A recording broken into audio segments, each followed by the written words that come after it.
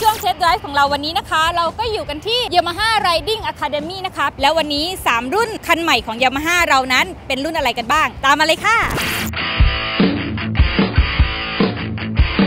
ในส่วนของ minor chain ของตัว R3 นะครับรูปทรงที่เราเห็นณตอนนี้ก็คือจะเป็นในส่วนของตัว covering นะครับหรือว่าชุดสีที่ถูกเปลี่ยนไปใหม่ ตัวนี้จะมีในส่วนของตัวที่เป็น aerodynamic ที่จะทำให้แรงประทะของอากาศประทะกับผู้ขับขี่น้อยลง ส่วนที่เพิ่มเติมขึ้นมาก็คือเรือนไมล์จะเป็นเรือนไมล์ที่ถ่ายทอด DNA มาจากตัว R1 MT15 ส่วนที่เป็นฟีเจอร์หลักของตัวนี้จะเป็นตัวที่เป็นไฟหน้า ไฟหน้าเนี่ยเราจะเรียกว่าเป็นไฟหน้า mono focus โดยจะมีทั้งไฟสูงและไฟต่ำในหลอดเดียวกัน ในส่วนของตัว Exciter ที่เพิ่มเติมขึ้นมาก็จะเป็นในส่วนของตัวเรือนไมล์และไฟหน้าที่เป็นไฟหน้า LED และเรือนไมล์มีการปรับเปลี่ยนให้ดูทรงสปอร์ตมากยิ่งขึ้น